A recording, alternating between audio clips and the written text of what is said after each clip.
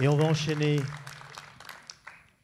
avec un autre personnage qui nous vient de l'autre côté de l'Atlantique du Québec, Hubert Sassi, qui est le directeur général d'Éducalcool et qui va nous expliquer comment, au Québec, on éduque. Pas encore. Pas encore. Pas encore. Euh, très, très modestement, très humblement, euh, je ne suis pas un scientifique. Je tiens à vous le dire tout de suite. Tout ce que je vais vous dire euh, n'est pas de moi. C'est ce que j'ai lu, ce que j'ai appris. Je suis un communicateur éthique et rigoureux. Et je vais essayer de vous parler de l'expérience que nous avons et partager avec vous les apprentissages que l'on a faits sur comment lire dans les médias les résultats des recherches sur l'alcool qu'on nous balance plein la gueule. L'histoire est une science. Et euh, Gérard Osterman m'a forcé à changer mon introduction. Est-ce qu'il y a quelqu'un ici qui connaît le général Kozuletsky? Non. Le général Kozuletsky, c'était le général en chef de la brigade de cavalerie légère qui, en 1808, a remporté une victoire dans la guerre d'Espagne en saquant une volée monumentale aux armées espagnoles et les généraux de Napoléon, pour expliquer la bravoure des Polonais, du général Kozuletsky, ont dit bah, ils étaient tous sous. Et Napoléon a répondu Eh bien, messieurs, apprenez à être sous comme les Polonais. Et c'est depuis ce temps-là qu'un geste qualifié, au départ, les historiens, les scientifiques vous diraient sous comme un Polonais, ça veut dire brave comme un Polonais, valeureux comme un Polonais. Aujourd'hui, il y a 99% des gens dans cette salle et ailleurs qui vont vous dire sous comme un Polonais, c'est quelqu'un qui boit trop. Alors hommage à la Pologne. Selon une étude, c'est le titre provocateur de mon, petit propos, aujourd'hui nous devrions tous être morts. Selon une étude. Déjà, cette phrase-là est fausse. Il n'y a rien qui est valable selon une étude. Alors, je vous raconte une histoire. Parce que la grande nouvelle aujourd'hui, c'est de savoir, et on en a parlé tout l'avant-midi, on va en parler un peu l'après-midi, et vous allez en entendre parler pendant les 25 prochaines années. Est-ce qu'il est vrai que chaque verre d'alcool est absolument nocif pour chaque buveur? Ce que vous avez probablement déjà entendu.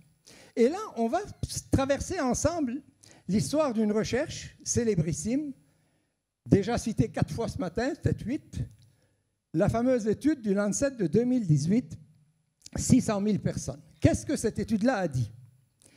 Le seuil de consommation pour les plus bas risques de mortalité, toutes causes confondues, sont 100 grammes par semaine, donc 10 verres d'alcool, au sens des verres d'alcool standard français. Et pour les sous-types de maladies cardiovasculaires, outre les infarctus du myocarde, il n'y a pas de seuil clair en deçà duquel la consommation d'alcool cesse d'être associée à une réduction du risque et donc, beaucoup de gens ont dit, ça y est, il ne faut plus boire. Et pourtant, caché à la page 31 de l'annexe de cette étude, je répète, caché à la page 31 de l'annexe de l'étude, vous aviez ça. Alors, pour les maladies cardiovasculaires, la courbe en parfaitement justifiée, et ça c'est pris de leur propre étude, hein, j'ai rien inventé, et ici, tous causes de mortalité confondues, idem, donc incluant le cancer, etc. Alors, qu'est-ce qui fait que on s'est retrouvé à dire ça? Parce que, accompagné du dévoilement de la recherche, il y avait les communiqués de presse de l'équipe de relations de presse du Lancet. Alors, au risque de me faire crucifier, je vous dirais que le Lancet est une revue extraordinairement sérieuse, dont l'objectif est de publier des recherches sérieuses avec comme sous-objectif de faire parler du Lancet partout sur la planète. Et que donc, plus il y a des manchettes qui font la une des médias dans la planète au complet, plus le Lancet a, accompli son objectif. Donc, on nous a dit, l'étude couvre des données de 600 000 buveurs, dont la moitié dépassait 100 grammes par semaine. Les autres buvaient jusqu'à 350 grammes par semaine d'alcool. Ils ont dit que boire plus de 100 grammes par semaine est lié à une espérance de vie moindre. Ils ont dit que ce niveau est inférieur aux recommandations des États-Unis, d'Italie, d'Espagne, du Portugal à l'Ouest. Ils ont rajouté en citation du Dr Woods, la consommation d'alcool est associée à une petite réduction du risque de maladies cardiovasculaires non mortelles, mais cela est contrebalancé par un plus grand risque associé à d'autres maladies cardiovasculaires sérieuses et potentiellement mortelles. Ouh là. Et enfin, une autre citation, les niveaux de consommation recommandés dans cette étude seront indiscutablement décrits comme irréalistes et inapplicables par l'industrie de l'alcool et par les adversaires de la santé publique dans le domaine de l'alcool. Donc on vous prévient tout de suite, tous ceux qui vont la critiquer sont des voyous. Toutefois, elles doivent être amplement diffusées et devraient servir de base à des débats publics et professionnels bien éclairés. Et c'est parti. Qu'est-ce que les médias ont dit? Boire de, 15 de 10 à 15 verres par semaine raccourcit la vie de deux ans. Ceux qui boivent plus de 18 verres par semaine vivront 5 ans de moins. Boire plus de 100 grammes par semaine augmente considérablement le risque de mort. C'est comme si chaque verre au-delà de 100 grammes réduisait en moyenne votre vie de 15 minutes comme la cigarette. Les repères doivent être réduits dans le monde entier. Et voici une manchette. Boire plus d'un verre par jour réduit votre espérance de vie. Le Soleil de Québec, maximum un verre d'alcool par jour ou risque accru de mort prétox, confirmado. Et l'alcool accorta la vita. El consumo moderado de alcool también acorta la vida. Donc, même si c'est modéré. More than five drinks a week could shorten lives by years. How many years have you lost from your life due to drinking? On rigole pas là. C'est des grands médias. Et c'est des manchettes. Et c'est devenu la vérité, comme sous comme un Polonais. Et là, regardons les faits. L'objectif avoué des chercheurs eux-mêmes était de soutenir les nouveaux repères de consommation de Grande-Bretagne. Parce qu'en Grande-Bretagne, ils avaient décidé que c'était 7 verres, puis 10 verres, merci, bonjour, ils avaient baissé ça. Et là, on avait besoin, une fois la décision prise, de la justifier. Donc, on leur a demandé, et c'est pas moi qui le dis, c'est eux qui le disent. Deuxièmement, les résultats étaient basés sur des données auto-rapportées et donc qui sous-estiment parce que tout le monde sait que lorsque c'est des données auto-rapportées, la, consommation d'alcool est sous-estimée. Donc des données sous-estimées. Les résultats n'étaient basés que sur les données sur le cancer. Or, comme vous savez, il y a des gens qui meurent d'autres choses que le cancer dans la vie. Et enfin, les auteurs ont reconnu eux-mêmes qu'ils n'avaient trouvé aucun lien de cause à effet entre les niveaux de consommation et les taux de mortalité. Et fondamentalement, la recherche excluait les non-buveurs. Tous les non-buveurs. Autrement dit, toutes les personnes qui étaient de ce côté-ci de la courbe Angie, que je vous ai montré tout à l'heure et qui étaient à la page 31 en bas à gauche, de l'annexe, étaient exclues de l'analyse. Et donc, on commençait à ceux qui buvaient 100 grammes par jour et on montait. Et là, on disait que ça a confirmé, bien sûr, l'existence de la courbe Angie. Évidemment, la réalité, la nouvelle s'est répandue comme une traînée de poudre, c'est devenu une réalité planétaire. Les premières critiques sont sorties 24 heures plus tard, sans grand écho évidemment, puisque, comme vous le savez, la durée de vie d'une nouvelle de nos jours se situe entre 2 heures et 18 heures selon l'importance qu'elle a. Décryptons un peu les chercheurs 2.0. 1. Les chercheurs de nos jours, beaucoup d'entre eux ont l'ambition de dicter des politiques publiques au nom de la science. Des conclusions des recherches sont parfois préétablies. C'était le cas ici. Nous devons démontrer ceci. Les recherches sociales sont vues comme des tribunaux. Vous avez la recherche médicale et la recherche sociale. Et la recherche sociale, c'est un tribunal qui juge qui sont les bons et les méchants. L'équilibre parfois rétabli en page 387 en petits caractères, parfois à la page 31, ce qui évidemment dévalorise et décrédibilise la recherche sérieuse et la recherche tout court qui mérite mieux que ça. Après, nous avons l'industrie des publications scientifiques, Lancet et autres. Elles sont en concurrence les unes avec les autres et elles recherchent la notoriété et donc le spectaculaire on observe une augmentation significative des articles payés pour être publiés. On assouplit la révision par les pairs. Et là, ce n'est pas compliqué. Voici en quatre étapes. On a des chercheurs avec une thèse. On fait intervenir les relations publiques qui vont chercher des citations géniales. Là, les journalistes se précipitent et parmi les citations géniales trouvent la plus spectaculaire et la plus dramatique de toutes les dramatiques. Et enfin, vous avez les chefs de pupitre qui, eux, font les manchettes, qui vont chercher la plus spectaculaire et la plus dramatique de toutes les dramatiques, des interprétations des journalistes, des interprétations des relationnistes, des services de presse, des publications, des chercheurs scientifiques qui avaient une thèse à prouver et qui n'a plus rien à foutre avec ce qu'il y avait dans la, recherche elle-même. Voilà. Ça, et là, on a l'industrie du média. Nous sommes dans un monde en changement. Il n'y a plus de frontières géographiques. Toutes les publications de la planète sont en concurrence avec les autres. Il n'y a plus de distinction entre les médias. Comment c'était il y a 20 ans? La radio nous annonçait la nouvelle, proche de la nouvelle. Le soir, la télé nous l'a montré. Le lendemain, les quotidiens nous en parlaient. Et la semaine suivante, les hebdomadaires nous l'expliquaient. Ça allait bien, chacun son prix, les vaches seront bien gardées. Depuis, c'est l'instantanéité permanente. Tout le monde se garoche sur se garoche. Tout le monde se précipite sur son site web et c'est à celui qui va sortir le plus rapidement possible. Donc on n'a pas le temps de vérifier. Et de toute façon, on n'a plus les ressources pour vérifier. Et de toute façon, même quand on a le temps et les ressources pour le vérifier, on ne veut pas se faire battre et donc on va le plus vite. Moins de temps pour valider, la course aux manchettes, espérance de vie d'une journée, moins de place pour les nuances. Alors qu'est-ce qu'il faut retenir? Comment faut-il lire les recherches? Premièrement, se rappeler de ce vieux proverbe français qui est absolument magnifique. Une hirondelle ne fait pas le printemps. Venant d'un Québécois au mois de février, vous comprendrez que ça a une connotation tout à fait particulière. Deuxièmement, il faut accueillir toutes les recherches avec ouverture et esprit critique. Ouvert, qu'est-ce que je peux apprendre? Critique, qu'est-ce que je n'ai pas, qu'est-ce que je n'ai pas vu? Chaque recherche bien analysée nous apprend des choses utiles, voire nécessaires. Chaque recherche, même sérieuse, a des biais méthodologiques, toutes, et parfois des biais tout court. Et on doit déterminer les recommandations sur la base d'une constellation de recherches sérieuses et pas sauter sur la première recherche qui conforte nos préjugés. Je vais vous donner un exemple franco-français. Je ne devrais pas faire ça, c'est dégueulasse. Normalement, les Québécois doivent pas se mêler d'affaires françaises, mais quand même.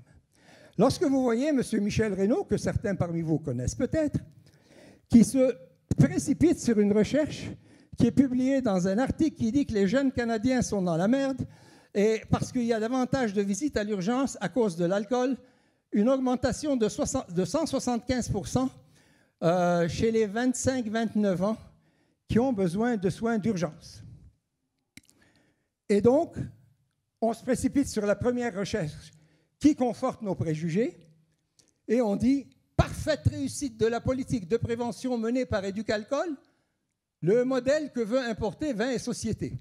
Et là, on met l'ANPAF, Addictologie, Addiction, Michel Perron, ben, ben Agnès Buzyn et, M. Philippe en plus. La totale. Et là, voilà, on vient de sauter sur une recherche qui conforte nos préjugés. Enfin, j'imagine que c'est un préjugé. Parce que, coucou, Éducalcool est un organisme québécois qui travaille au Québec. L'enquête dont il est question se passe en Ontario. Oui, je sais, l'Ontario, c'est à côté, mais ce n'est pas le Québec. Autrement dit, pauvre con. Il prend une recherche qui n'a rien à foutre avec nous et il vient nous planter en France, où personne ne peut rien vérifier de toute façon, sur une étude qui dit canadienne machin truc. C'est un exemple typique de quelqu'un qui a pris une recherche et qui a vu ce qu'il voulait y voir et qui s'est auto-trompé. C'est ce que dans le Walrus, il y a un article absolument magnifique que je vous recommande, The Rise of Junk Science, la science de merde. Et là, je vais vous donner des exemples récents de manchettes. Chaque verre réduit votre vie de X jours, on en a entendu parler. Ah, une bouteille de vin égale 10 cigarettes. Vous avez vu probablement cette manchette-là.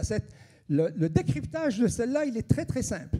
C'est des gens qui ont comparé statistiquement, il n'y avait pas un seul fumeur, pas un seul buveur, ils ont pris des chiffres, des données, ils ont corrélé des trucs ensemble, et ils sont arrivés à la conclusion que leur objectif n'était pas de déterminer si euh, le, vin et la cigarette avaient des effets. Ils ont même dit eux-mêmes, en page 297, qu'on ne pouvait absolument pas comparer l'alcool et la cigarette.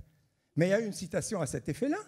Et parce que l'objectif, c'était de faire prendre conscience aux gens que l'alcool est aussi cancérigène. Et donc, on s'est dit, comme ils savent que la cigarette, c'est cancérigène, on va faire un modèle et on va inventer une formule qui va marcher. Et c'est complètement faux. Preuve génétique. Aucun effet protecteur de maladies cardiovasculaires. Celle-là, c'est la meilleure. La consommation régulière et modérée est plus nocive que l'abus occasionnel. Une recherche coréenne publiée dans une revue chinoise. Ça vous dit tout. Alors, qu'est-ce que, était, alors quand tu vas lire la recherche elle-même, qu'est-ce que ça disait? Ils ont pris des personnes qui avaient des problèmes avec l'alcool. Et je vais je vais la faire plus simple. Imaginez que vous êtes allergique aux crevettes. D'accord? Vous, une fois par semaine, vous vous faites 82 crevettes. Vous faites une crise d'allergie. Votre voisin, il est allergique aux crevettes. Tous les jours, il prend une crevette et il fait une crise d'allergie. Moralité, si vous prenez 52 crevettes d'un coup, c'est mieux que de prendre une crevette par jour. Parce que les bouffeurs de crevettes... Non, non, c'est exactement ça. Alors, ils ont pris des gens qui avaient des problèmes spécifiques avec l'alcool. Et si tu as des problèmes spécifiques majeurs avec l'alcool, prends un coup solide une fois par semaine et bois pas le reste de la semaine. Mais c'est le cas d'une personne sur 100 000 en Corée. Celle-là aussi est excellente. Les hommes doivent s'abstenir de boire six mois avant de concevoir. On savait que l'alcool pendant la grossesse, ce n'était pas une bonne idée. C'est bon. Et là, on nous a sorti, les hommes doivent s'abstenir. J'imagine qu'il y a quelqu'un ici qui l'a vu, celle-là. Alors, ce que les médias ne vous ont pas dit, mais qui était dans la recherche en page je ne sais pas combien, c'est que c'est à partir de 250 grammes d'alcool par jour que ça se manifeste. Vous savez, c'est combien? 250 grammes d'alcool par jour.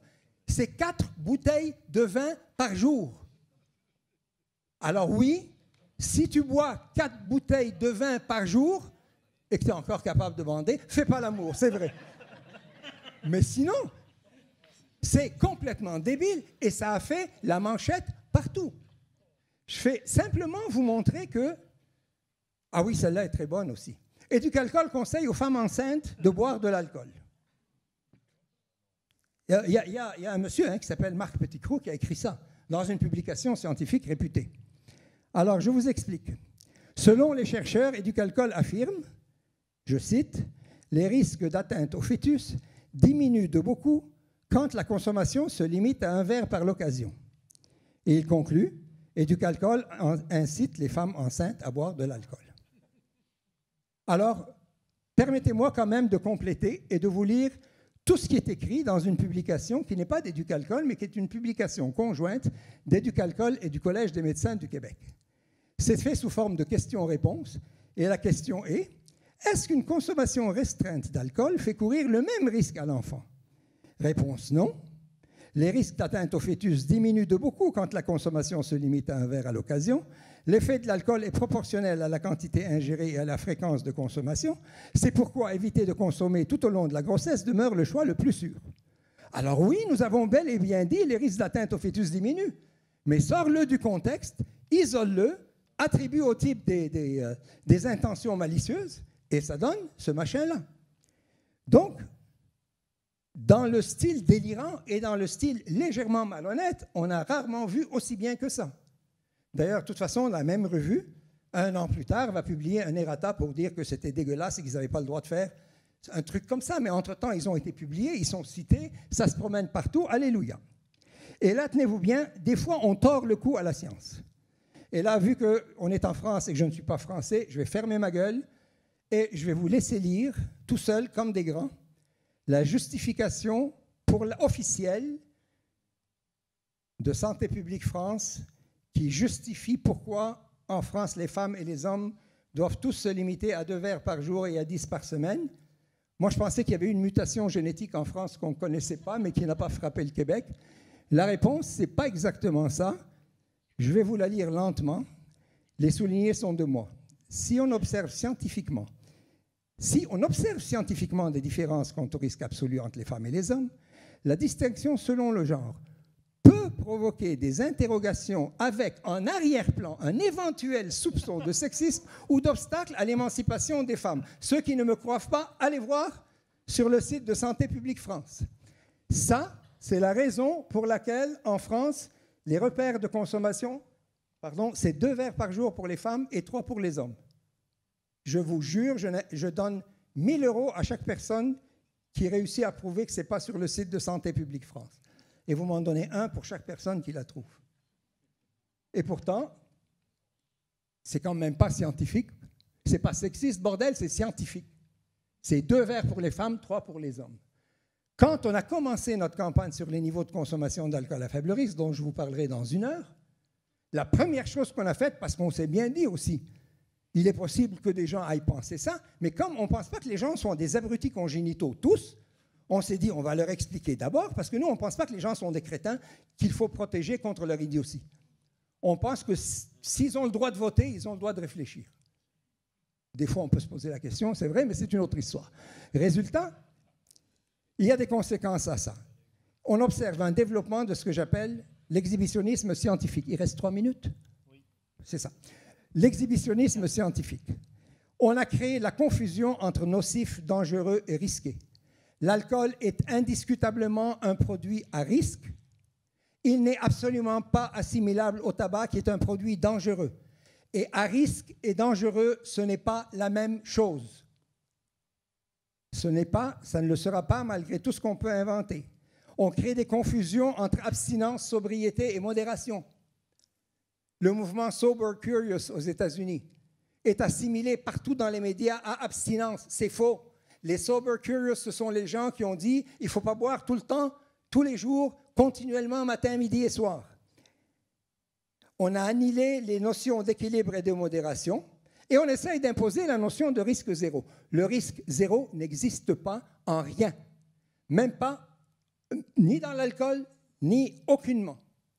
Chaque fois que vous prenez votre bagnole, vous risquez de faire un accident. Ça ne veut pas dire que vous allez faire un accident. Ça veut dire que chaque fois que vous prenez votre bagnole, vous allez, vous allez risquer de faire un accident. Après ça, on associe les producteurs d'alcool aux producteurs de tabac. On associe l'alcool au tabac. Et on dit qu'il faut traiter l'alcool comme on traite le tabac, ce qu'il fallait démontrer. Voilà, ça c'est la rigueur scientifique. Alors qu'est-ce qu'il faut faire? Rapidement, la science, ce n'est pas un champ de bataille. La science, ça doit être un, champ, un lieu de convergence parce que personne ne possède la vérité absolue, et c'est en prenant les vérités de chacun que l'on réussit à trouver in medio stat virtus, c'est comme ça. Chaque recherche a ses mérites et ses limites. Regardons quels sont les mérites, regardons quelles sont les limites, accueillons toutes les recherches avec ouverture, prenons le meilleur de chacune, ne retenons pas celles qui nous conviennent en éliminant celles qui ne nous conviennent pas, attendons que plusieurs recherches se rejoignent avant de tirer la conclusion, Parlez clair, parlez simple, parlez vrai. Arrêtez de créer la confusion dans l'esprit des gens. Ne recherchez pas le spectaculaire. Faire les choses sérieusement, de manière complète, rigoureuse, nuancée, et changer s'il le faut. Éducalcool a fait des publications sur l'alcool et le risque du cancer, sur l'alcool et le cœur, sur l'alcool et la santé mentale, l'alcool et le sommeil, l'alcool et le sexe, les niveaux de consommation d'alcool à faible risque. On ne prend pas les gens pour des imbéciles. On met 12 pages avec des photos pour leur expliquer et on pense qu'ils comprennent. Et enfin, un dernier mot sur la différence entre le risque et le danger.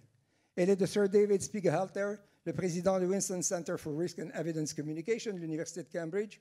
Il n'y a pas de conduite automobile sans risque, mais aucun gouvernement au monde ne recommanderait de ne jamais conduire. Et à bien y penser, il n'y a pas de vie sans risque et personne ne recommanderait non plus de s'abstenir de vivre. Merci beaucoup.